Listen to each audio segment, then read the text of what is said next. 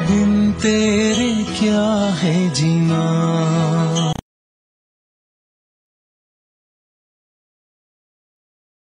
Hello दोस्तों, हम हाजिर हैं एक नए वीडियो के साथ।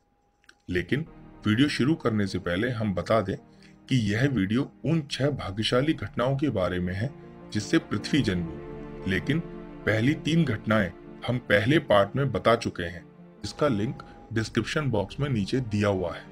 जिन व्यूअर्स ने पहली तीन घटनाओं वाला वीडियो नहीं देखा है, कृपया वो पहले वही वीडियो देखें, वरना उन्हें यह वीडियो इंटरेस्टिंग नहीं लगेगा।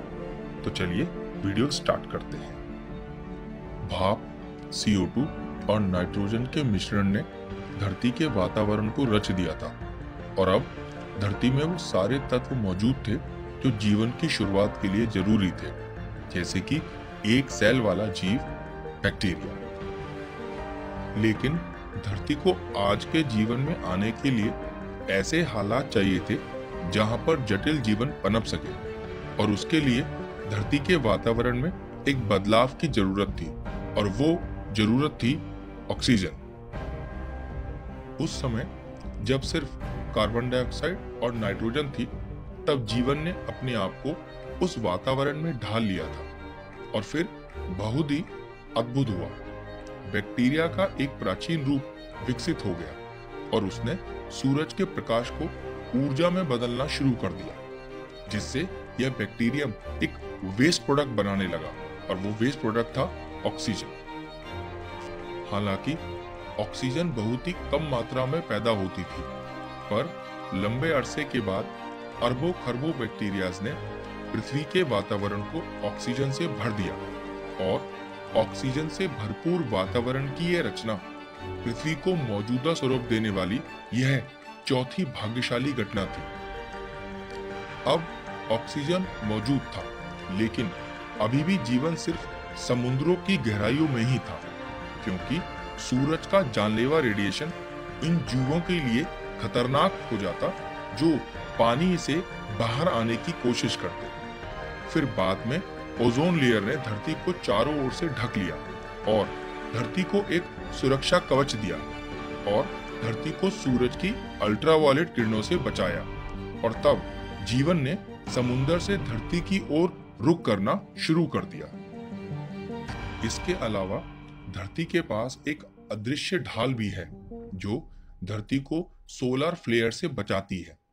एक बार मैग्नेट की तरह धरती का अपना चुंबकीय क्षेत्र है।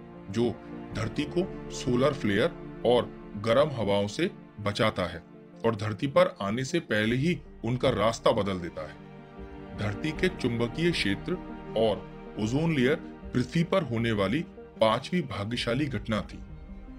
पर विकास का सफ़र हमेशा आसान नहीं होता। जीवन की कहानी मृत्यु की कहानी भी है। पंद्रह करोड़ साल तक डायनासोर का राज था और फिर अचानक उनकी हुकूमत खत्म हो गई। एक बड़ा एस्ट्रॉयड धरती से आ टकराया। यह घटना मैक्सिको के बीच के पास हुई थी। इस घटना से पूरी दुनिया में तबाही मच गई। इस टकराव की वजह से चारों ओर धूल हो गई, जिसने सूरज को ढक लिया और दुनिया में सर्दियाँ छा गई। पूरी दुनिया में जगह जगह आग लग गई और टाइडल वेव्स उठने लगी और एसिड रेन भी शुरू हो गई।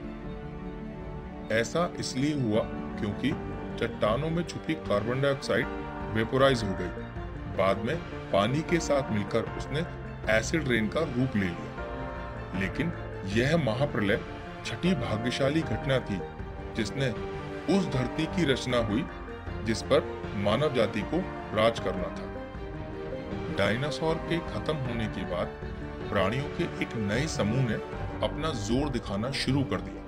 और ये थे मैमल्स, यानी स्तनधारी जीव। यह जीव चचुंदर से भी छोटे थे और आगे चलकर इनकी नई प्रजातियाँ विकसित हुई और इसने हज़ारों तरह के स्तनधारियों का रूप ले लिया, जिसमें इंसान भी शामिल थे, जिनको एक दिन इस ग्रह पर राज करना था।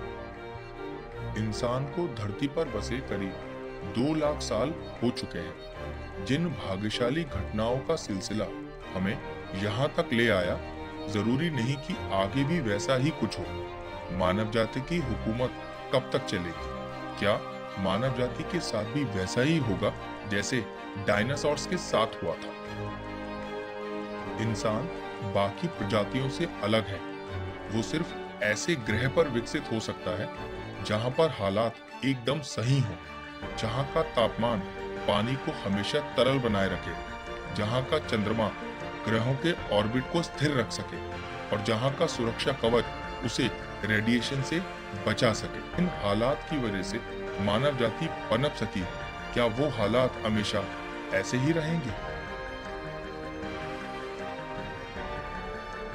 आपको हमारा वीडियो कैसा लगा?